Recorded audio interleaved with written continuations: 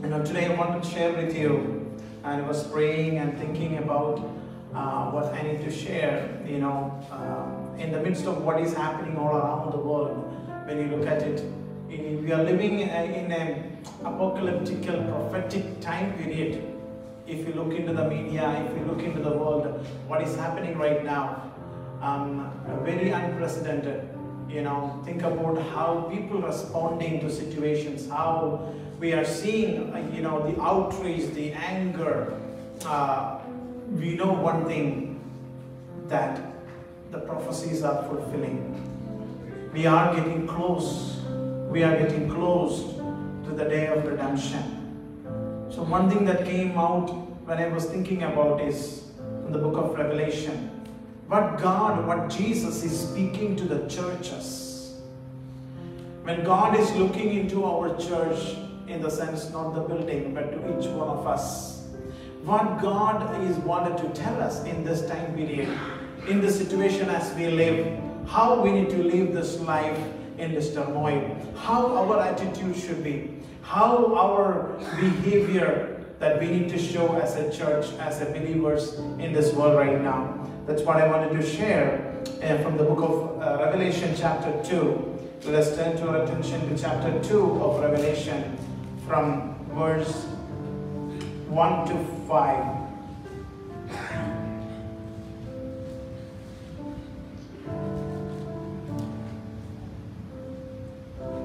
Revelation chapter 2, verse 1 to 5 says like this To the angel of the church in Ephesus, write, These are the words of him who holds the seven stars in his right hand and walks among the seven golden lampstands. I know your deeds, your hard work, your perseverance. I know that you cannot tolerate wicked people, that you have tested those who claim to be apostles but are not and have found them false. You have persevered with and have endured hardship for my name and have not grown weary. Verse 4 Yet I hold this against you.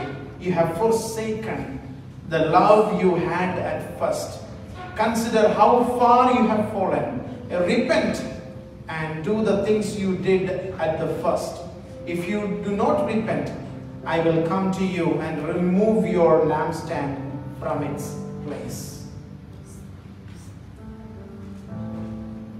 You know, this same church, this very church that is that was in Ephesus back in the first century, it was in the uh, country of Turkey. We do not see that church right now. There is nothing there. It's completely gone. But the message remains the same. And it will, it is up, it, it is applicable to all of us. Here Jesus is looking at the church and he's telling and he's commending the church about what the church has done for his name. There are two things that we need to understand here in this church. There is a war, there is a struggle, there is a that is there is a warfare, there's a problem that is affecting in this church. One is from outside and one is from inside. You know, let me tell you the goal of Satan. What is the goal of Satan? That we all know. John 10 10, it says, The thief come only to steal, kill, and destroy. We need to understand this. The goal of Satan about a child of God is to steal, kill, and destroy that person. Here in this church, when you can see, there is an outward, there is a fight, there is a struggle, there is a problem from without, from without, from the outside. That is, there were wicked people. There were people who claimed apostasy, doctrine issues coming into the church. The church was able to fight that. They were able to overcome that. The church at Ephesus was commended for its doctrinal integrity and perseverance in the time of adversities. In the time of hard times, they were able to go through it. They were able to fight and defeat the attack that is coming from outside.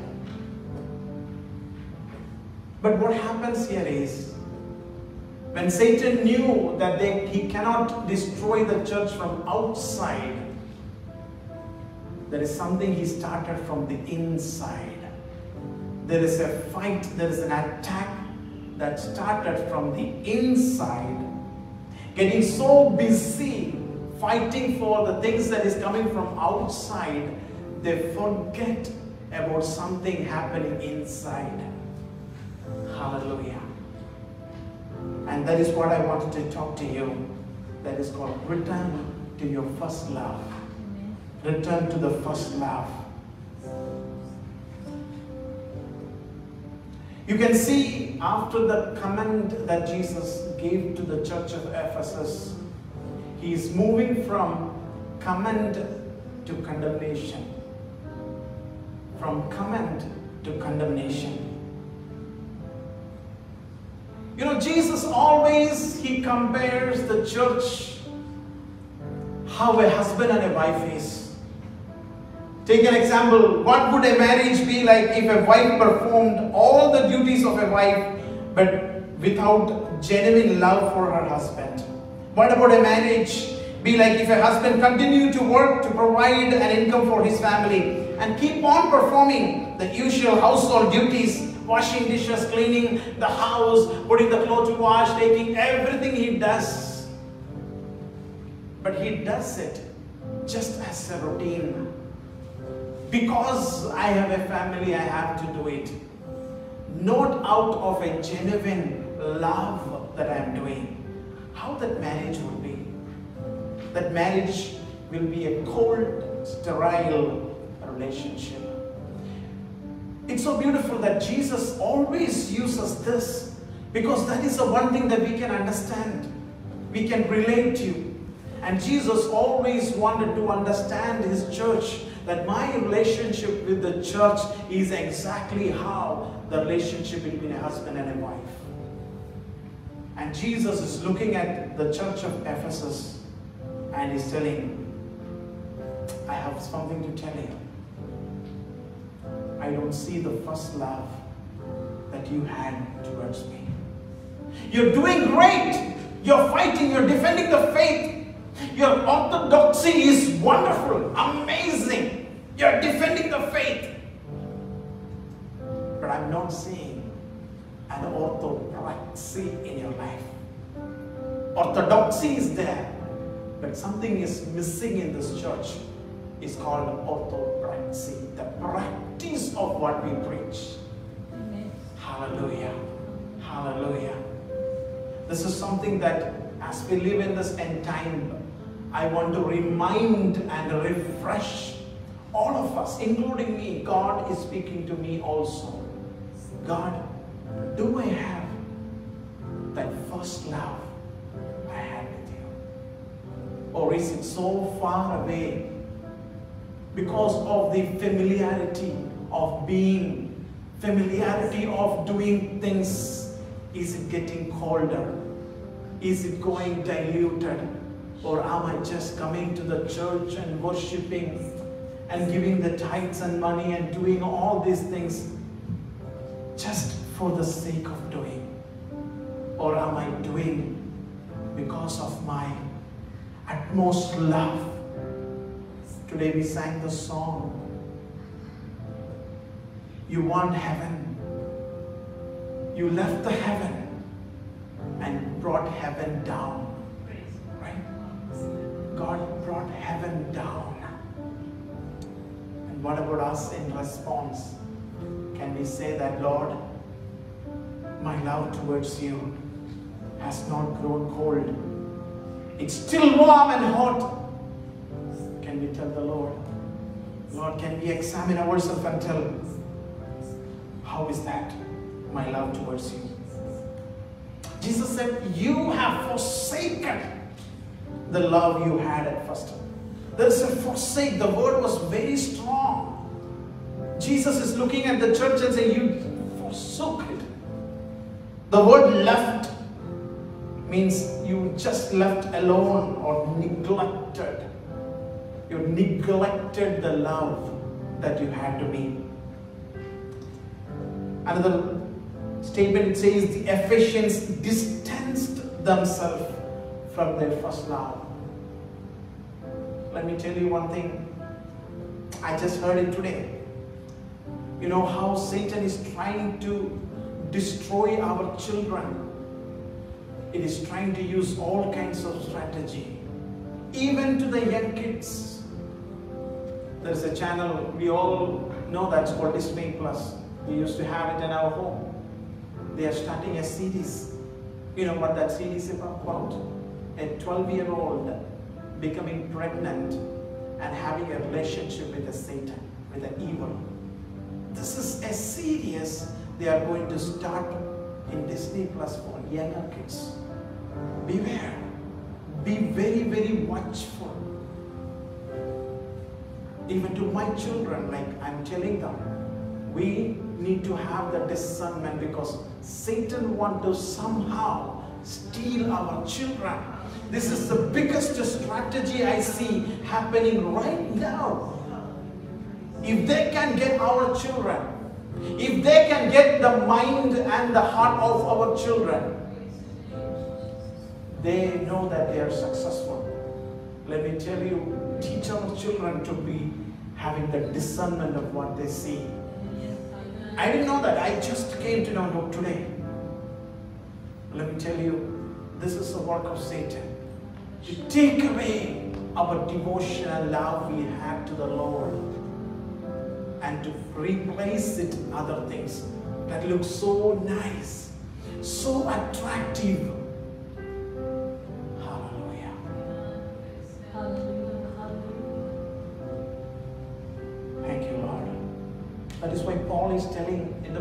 Ephesians, in the book of Galatians, chapter 3, who bewitched you? Right?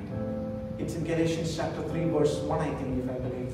Say, who bewitched you from your devotion to the Lord? Hallelujah. What was our first love like? Do you remember? How was our first love? When we came to the Lord, when we accepted the Lord as our personal Savior.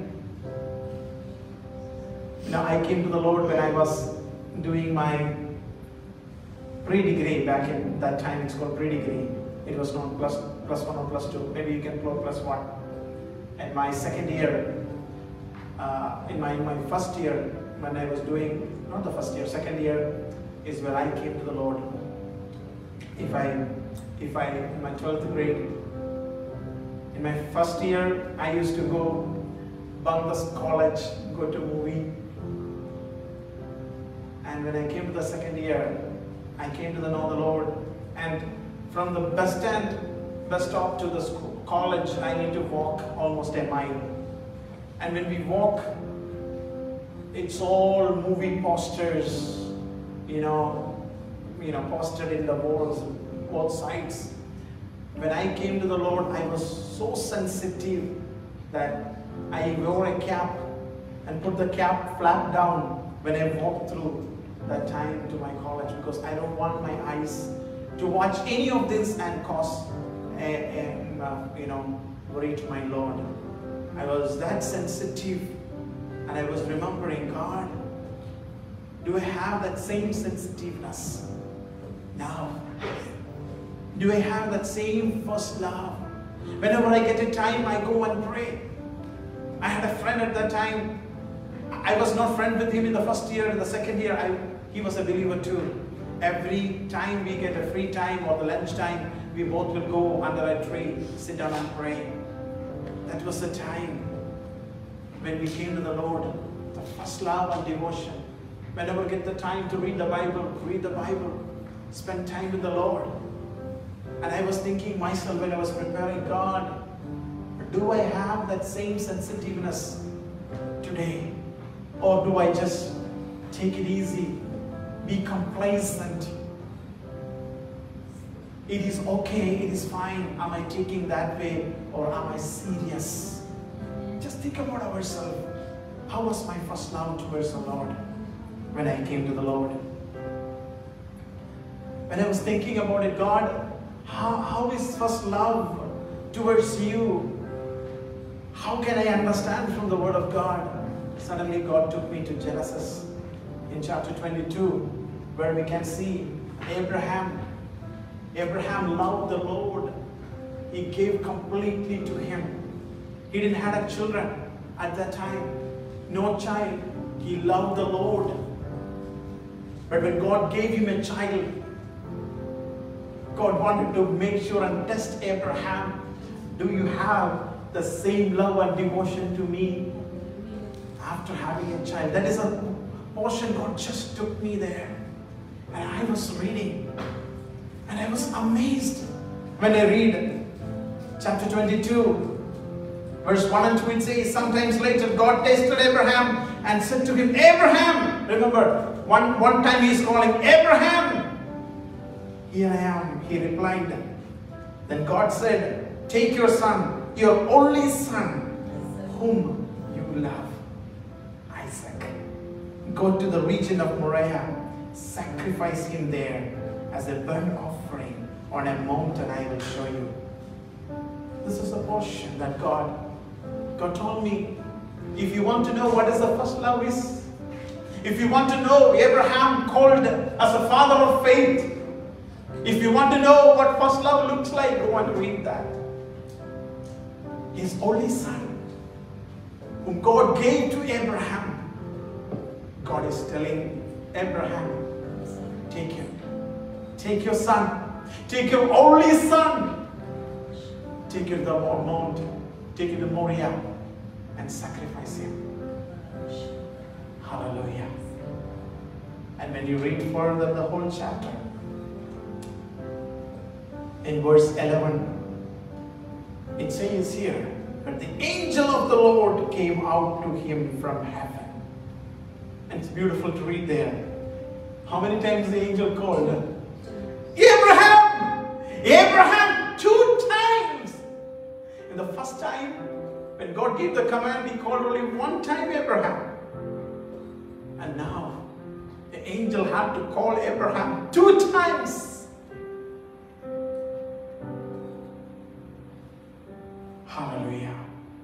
Not lay a hand on your on the boy. Do not do anything to him.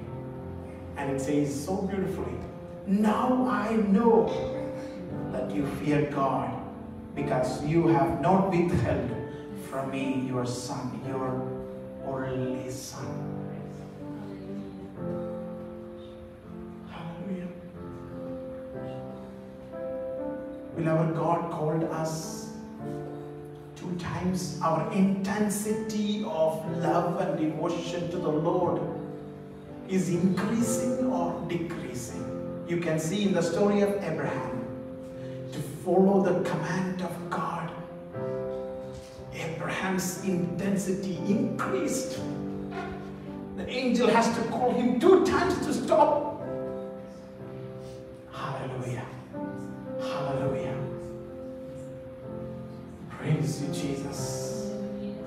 Is how our first love like. Just examine ourselves, Lord. Do I have the same passion to you? Same love towards you? More than anything. That is why Jesus said, unless you hate your father, your mother, your children, your every possession, including you yourself, you cannot become my disciple. You cannot become my disciple. Let our first priority, let our first love not be ever replaced. It says the word first. It's not the second. It's not the third. Let everything become second and third. Let our first love be towards our Lord. Towards our Lord. Not our health, not our life, nothing. My first love is to my Lord. Is to my Lord. Hallelujah. That is why Psalmist is saying Psalm 73, verse 25. Psalm 73, verse 25, it says, Whom I have in heaven but you, and earth has nothing I desire besides you. My flesh and my heart may fail, but God is the strength of my heart and my portion forever. Can we say that? My flesh may fail, my heart may fail, but I don't care. I know one thing God is my strength. My desire is you. Desire more than anything but you, Lord. That is the prayer. In Psalms 1, verse 2, it says, But those who delight in the law of the Lord and meditate on his law day and night. Our desire is Jesus. Our delight is Jesus. Hallelujah. Hallelujah. Thank you, Lord. Thank you, Lord. That is why in Hebrew chapter 2, verse 2, it says, We must pay the most careful attention to what we have heard so that we do not drift away. This is like other things we will know, we will recognize, we will discern, but our love to the Lord, it happens very slowly. The drifting happens very slowly. You know how a, a log or a wood or a boat in, a, in the side of a lake, when there is a wind, at one point it will be in this side. After five minutes, when you look, it will be somewhere else. Why? It slowly takes. Even when you sit in a boat, if you done the, in the river, just sit on the boat without any anchor. If you just sit in the boat, after some time, will you be in the same place where you were? And you won't even recognize that. You think we are in the same place? But no, slowly. We won't even know that we are drifting far and far away. That is why very beautifully Hebrew writer says that we need to pay careful attention. Careful attention. That Lord, am I in the same place? Are you first in my life? Or something else came in along the way and you have been pushed away and that became. There are so many things that can become first in our life. So many attractions. Our money, our positions, our, our influence, all the things of this world. That is why Satan tried to tempt Jesus. He took him to the top of the temple and said, Oh man, I will give you everything. Satan is not worried on giving us or making us a millionaire or billionaire. He's not worried at all. He's worried about only one thing. Do this guy still have the love to the Lord? Hallelujah. Let us have the careful attention to know that I am still.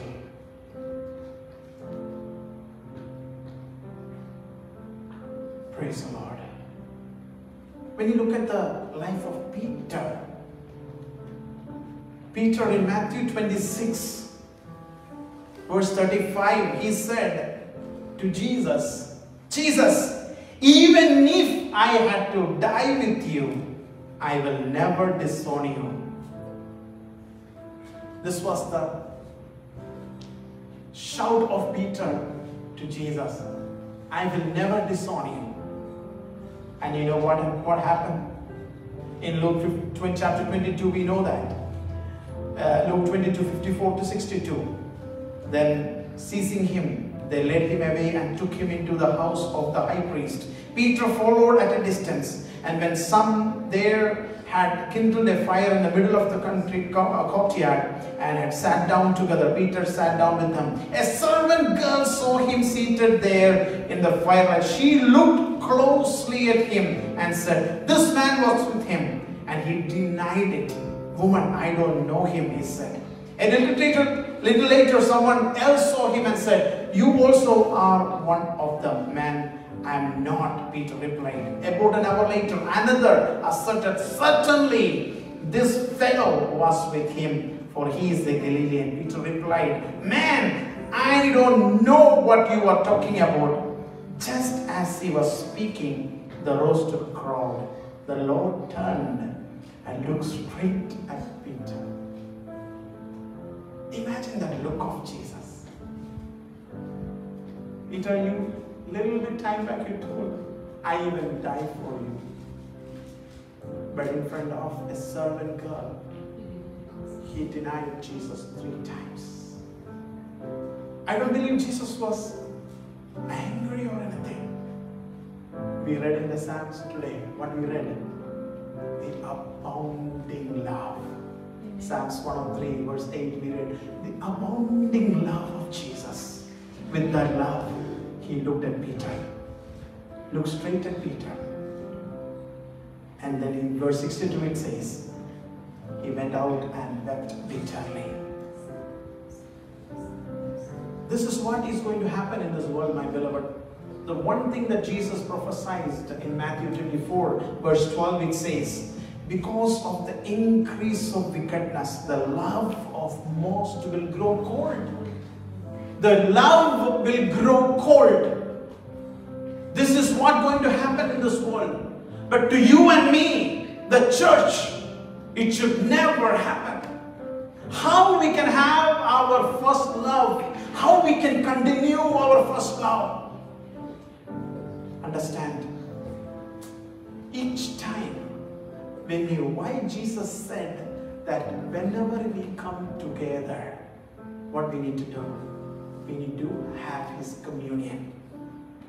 You know why? That is the moment we will refresh. We will refresh our love to the Lord. When you look at the communion, when you look at the bread and the wine, we know the extent of His love that He has shown to me.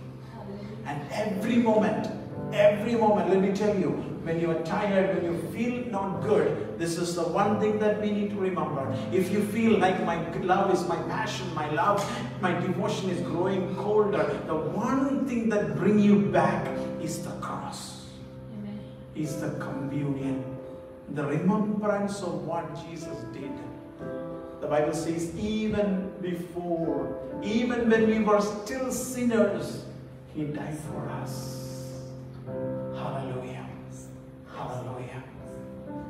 Remember the communion. Remember what Jesus did.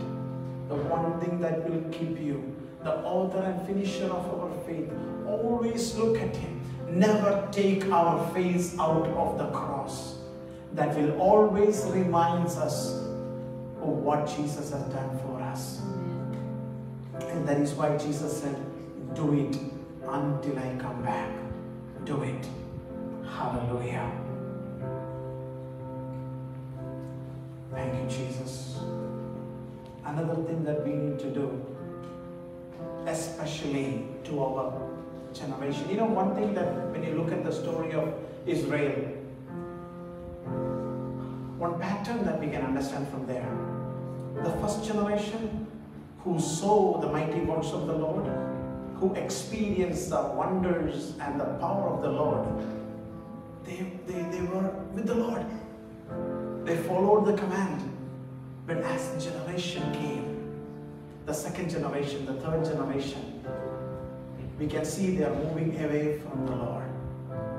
So, what we need to do in Deuteronomy chapter 6, if you go to Deut- Deuteronomy chapter 6, verse 4, it is written very, very clearly God is commanding the people of God. God is commanding the Israelites. It says, O Israel, hear, the Lord our God, the Lord is one.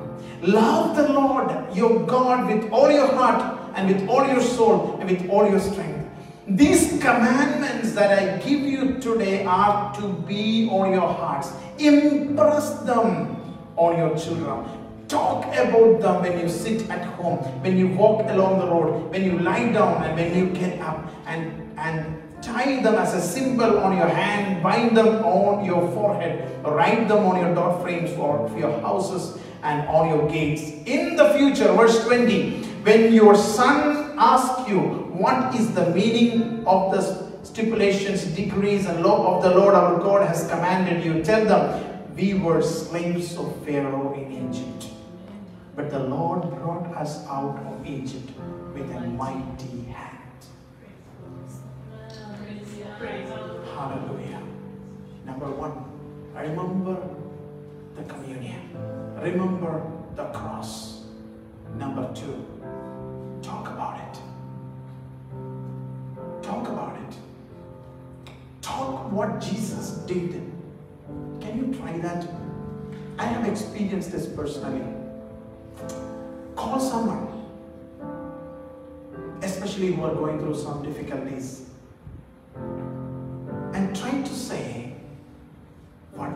In your life. Let me tell you, more than the other person, you will feel refreshed. Yes. When you go through some hard time, call someone and speak about God's love. Speak about what God did in your life. Speak about the miracles and the mighty work, how God led you. And that will help you to even remember and refresh.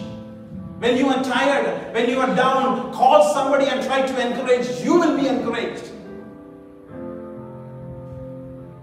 If you want to be have the refreshment of the first love, talk about it. Don't be. When you were in first love, husband and wife, we talk about it all the time. Because that is what in our heart filled our heart. Talk about what Jesus has done. Talk to our children, especially. Tell them who we are and the salvation that we experienced in our life. How God led us through in all our life. And that will keep us refreshed in our first love towards the Lord. Hallelujah. Thank you, Jesus. Let me tell you one thing how Jesus restored Peter. It is so beautiful. How many times Peter denied Jesus? Three times. Let us go to the book of John, chapter 21, verse 15 onwards, 15 to 17. Jesus is restoring Peter now. When they had finished eating, Jesus said to Simon Peter, Simon, son of John, do you love me more than this? Yes, Lord, he said, you know that I love you. Jesus said, feed my lambs. Again, Jesus said, Simon, son of John, do you love me? He answered, Yes, Lord, you know that I love you. Jesus said, Take care of my sheep. The third time he said to him, Simon, son of John, do you love me? Here we can see Peter was hurt because Jesus asked him the third time.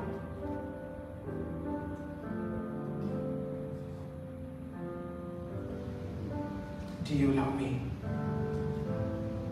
He said, Lord, you know all things. You know that I love you. Jesus said, Feed my sheep. See the way of restoration that Jesus did to Peter. Three times Peter denied Jesus. Three times Jesus reminded him, brought him back. Speak to me from your heart. Third time Peter said, Lord, you know me. You know my heart. You know what in me. And help me. You can see the helplessness of Peter. Peter wanted to love Jesus. But Jesus is telling, Yes, I want the genuineness coming out of you. If you genuinely desire to love me, you will love me. Here we can see how Peter, how Jesus is bringing back Peter and restoring him to be the leader. And I just want to end with one verse that God put in my heart today when we were sitting here. Romans 8 35 onwards, uh, Paul is saying here, Who shall separate us from the love of God? And when we were singing the song, I was thinking in my heart, Oh God, thank you. Who can separate us from the love of Christ? Shall trouble or hardship or persecution or famine or naked or danger or sword? Verse 37 No. In all these things, we are more than conquerors through whom, whom he who loved us. Verse 39 Neither height nor depth nor anything else in all creation will be able to separate us from the love of God that is in Christ Jesus our God.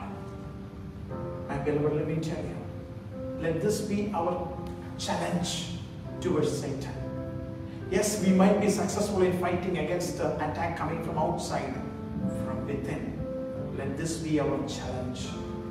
Remember this when Satan tried to take our love and devotion away from our Lord, challenge him. That may be through trouble, that may be through hardship, that may be through friends, that may be through job, that may be any situation that we go through. But let us challenge him. You cannot separate me. You cannot separate me. Because we are more than conquerors. Can we just surrender ourselves before the Lord and tell Him, Lord Jesus, I want to love you. I don't want you to tell me, Lord, I repent. Lord, I repent before you. If there is anything more than you in my life, if anything I love more than you, my children, my job, my material possessions, even myself, if I love more than you. Oh Lord, Lord, I repent. I want to hear from you. You loved me more than anything, more than your life. When you call us home, or when the trumpets sound, Lord, that is what we want to hear. We love you more we love you, Lord. Lord, as Peter confessed, Lord, help us to be hurt. Lord, we want to become hurt. We want to become sensitive to the word. When Jesus over and over again, three times, when Jesus asked Peter, Do you love me more than these? Do you love me more than these? Lord, this question we ask to us every moment of our life. Lord, help us to be hurt by that and to surrender in the presence of God and tell, Lord, you know, you know. I just open up. There is nothing hidden from you. Everything is open and naked before you. You know my heart. You know my inner being, your God. Lord, as a church, we surrender before you. Help us to love you more than anything. Help us to have our first love towards you. Like Abraham, Lord, help us to offer that what we love the most before you and tell, Lord, I love you more than this. I love you more than this. Lord, help us to speak like Paul. Is there anything that can separate me from the love of God? Lord, help us to understand that. Help us to be sensitive to love you all in my life. Let you be my desire. Let you be my delight in my life. Lord, I pray for each and everyone who are here. Lord, we thank you that you're speaking to our hearts. Lord, we receive that into our heart. Lord, help us to work that in our life, Lord. Bring that to practice in our life. And examine our life. And to see and remove if there is anything that we are loving more than you. Lord, we thank you. We give you all the glory and honor and praise. In Jesus' mighty name May the love of the Father and the grace of our Lord Jesus Christ and the communion of the Holy Spirit be with each one of us until we meet again and all God's people say, Amen.